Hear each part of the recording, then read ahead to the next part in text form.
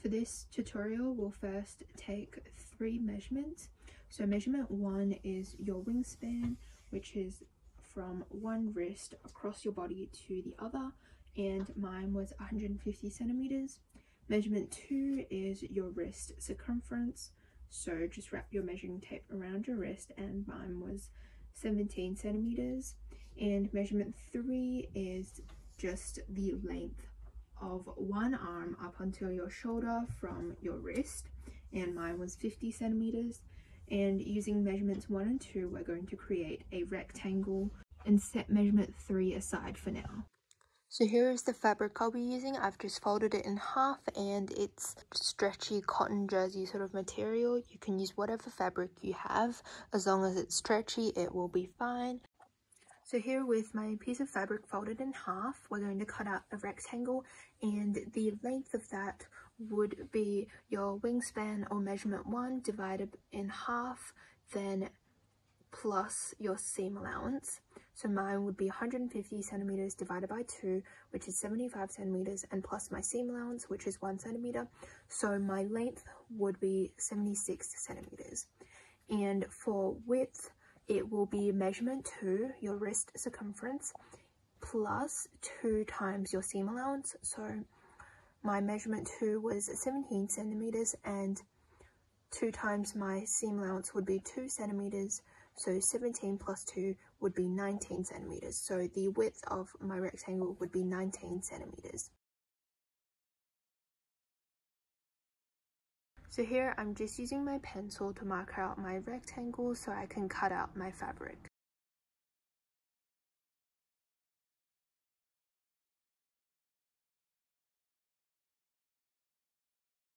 So here's my faint line and I'm going to go ahead and cut it out with some sharp scissors.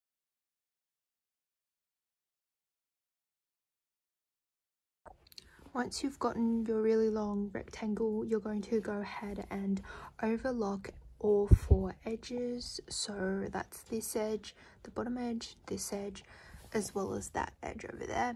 And if you don't have an overlocker, you can use the zigzag stitch on the sewing machine. That would um, work fine as well. So once you've done all the overlocking, you're going to go ahead and fold in the width of your rectangle. And then using some pins you're going to pin it down. So I'm just going to fold it over by my seam allowance which is a centimeter but I won't be measuring this. I'll just eyeball it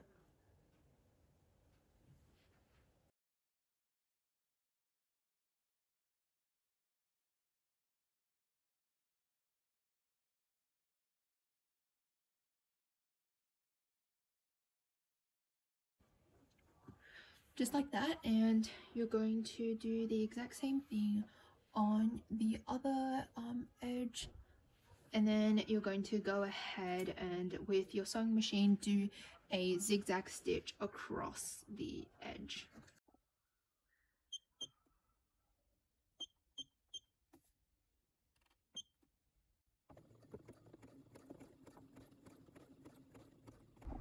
So this is one of my edges done and I'll do the same thing on the other one now. And here's my other edge. Now you're going to fold um, your piece of fabric right sides facing together like this and then you're going to place a pin where measurement 3 will be. So my measurement 3 was 50 centimeters so I placed a pin 50 centimeters from this edge and you're going to do the same with the other edge. So place a pin 50 centimeters from the other edge. And then you're going to pin along this edge down here. And then you're going to straight stitch down the bottom edge all the way to where measurement 3 is. So this is what it looks like and now you're going to do the exact same thing on the other side. So I've just done the straight stitching on both sides and now we can flip over our little bolero. So just from the center you're going to turn it inside out with the right side facing out.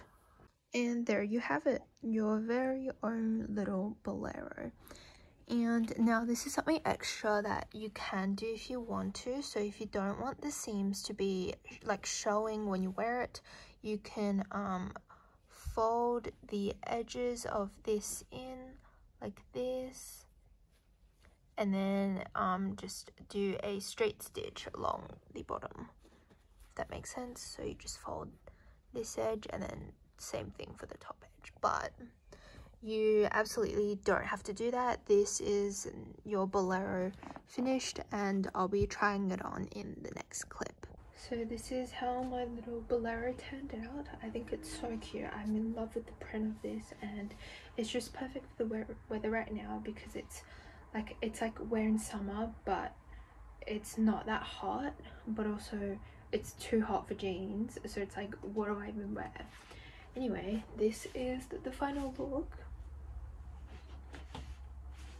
so um yeah if you guys do make this you can always tag me on instagram. I love seeing all your creations and i'll also leave my instagram down below. And if you've got a question or just something you want to say um you can also leave that in the comments down below. And i'll see you guys in my next video.